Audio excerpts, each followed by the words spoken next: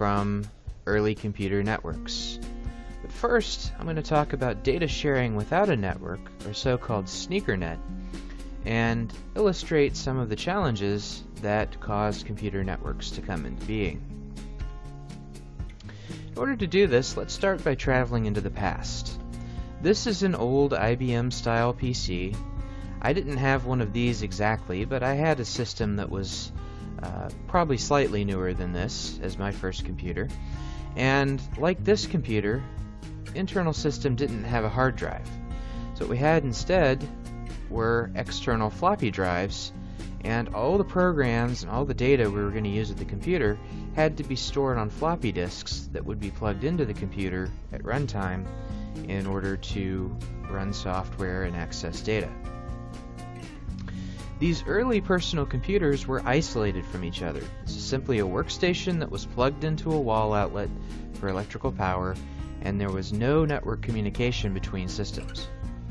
In order to run a program, you would take the floppy disk containing that program, put it in the drive, run the program off the floppy drive.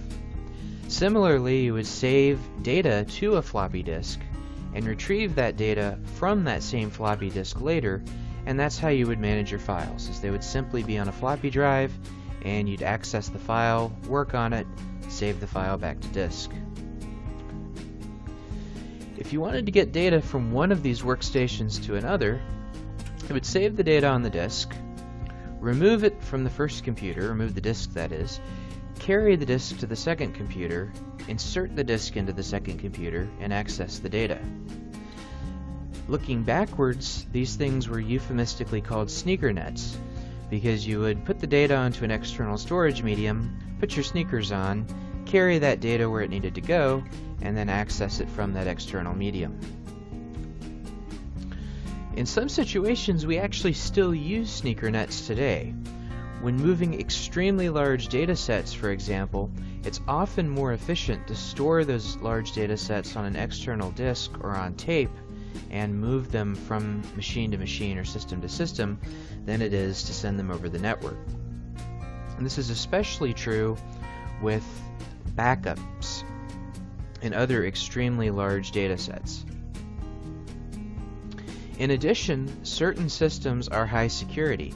That means that we don't want them connected to the network either to prevent data that's stored on them, say classified data, from leaking out, or to prevent, for example, malware, for conducting malware research or malware testing, from leaking out and infecting other systems on the network.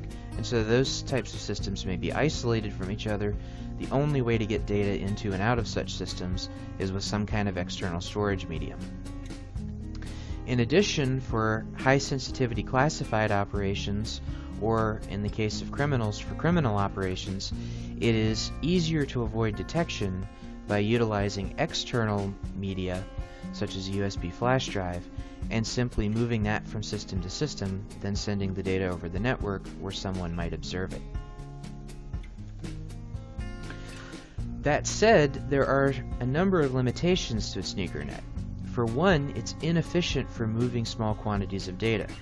It's highly inefficient for things like email. If I'm going to send an email message to a colleague in another office in my building, it's far more efficient for me to simply call that colleague or go speak to that colleague in person than it is to type an email message, save it on a disk or USB drive, carry it to that colleague, and then have the colleague retrieve it from the drive, read it, put a reply, type it onto that same medium, give it back to me.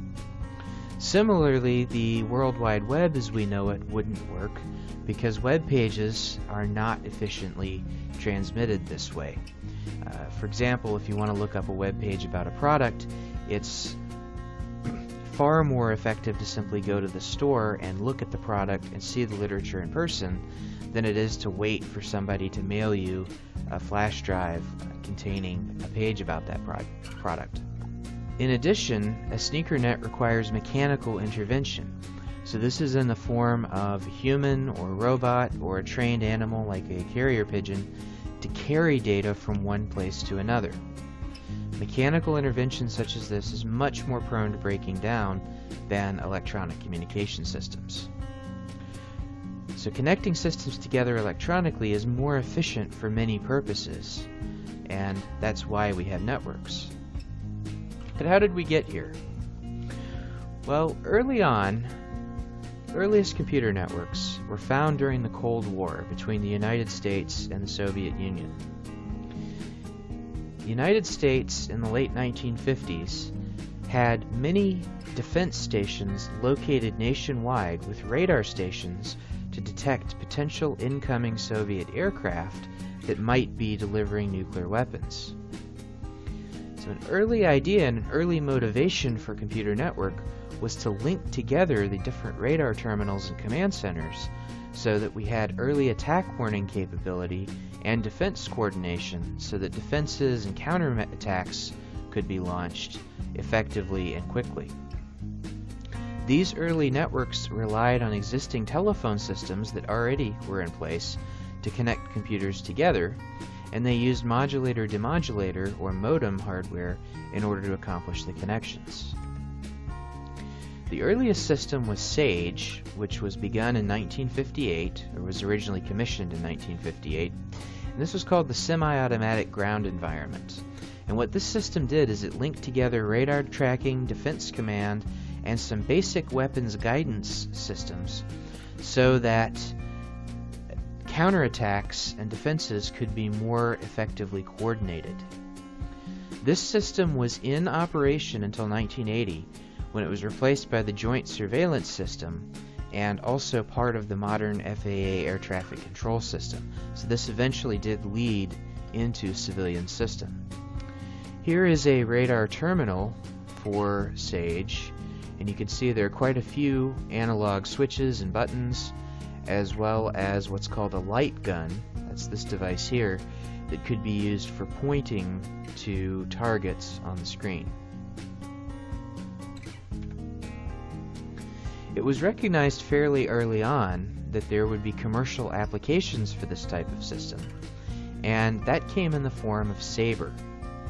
Sabre was a system for connecting mainframes and teleprinters together in order to automate flight reservations for American Airlines. This system was highly successful and continued to evolve over the years until American finally parted way with Sabre Holdings, the company that owned the system, in 2000. That company, Sabre Holdings, still exists and they own Travelocity. So that roaming gnome that you see in the Travelocity commercials, in the United States at least, is an evolution of this Sage technology commercialized as Sabre. In 1969, the U.S. Defense Department Advanced Research Projects Agency, or ARPA, what later became DARPA, connected different universities and research centers together using a novel form of networking called packet switching. Talk more about what that is in later lectures, but the basic idea was that they leased telephone lines and used computer modems to link together a whole bunch of different research sites at once. This system allowed university researchers to communicate with each other electronically and exchange information much more quickly. The National Science Foundation took over the system and enhanced it in 1990 as NSFNet. And in 1995, this, this system was fully commercialized and is now known as the Internet. So this was the precursor to the modern day Internet. In the 1970s, and then commercially in 1980, Ethernet was developed. This was developed by Xerox Corporation at their Parallel Architectures Research Center. And the idea of this system was that instead of using telephone modems to connect remote systems together, Ethernet would allow local computers at a single site, geographically close together, to be linked together at higher speed. This was called a local area network. It was significantly faster and less complex than trying to use modems and telephone lines to link together a bunch of machines that were all geographically local to each other. It was also relatively cheap to implement, which led to its eventual commercial success. Today, an outgrowth of this, Gigabit Ethernet, is the current standard, but 10 gigabit Ethernet is readily available, and 100 gigabit Ethernet is in development. This is a far cry from the original Ethernet, which was 2 megabits, and that's megabits, by the way, not gigabits, and uh, the original commercial implementation that saw widespread use at 10 megabits per second. So today, with all this technology, networks are everywhere. Every commodity computer, tablet, cell phone, even some smart household appliances are connected to a network and potentially to the internet. The fundamental purpose remains the same today, though, as the original Sage and Sabre systems. The idea here is to share data between different systems, between different devices, and do so in an efficient way that can't be realized by sharing data via external storage media. So to summarize, without networks, we would still be carrying data from system to system by means of the sneakernet. This would not enable efficient communication of small amounts of data.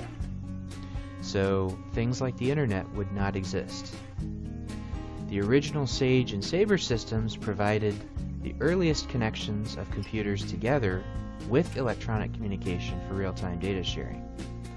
ARPANET was an outgrowth of those systems and the precursor to the modern Internet, and original Ethernet laid the foundation for local area networks that made connectivity into the Internet possible.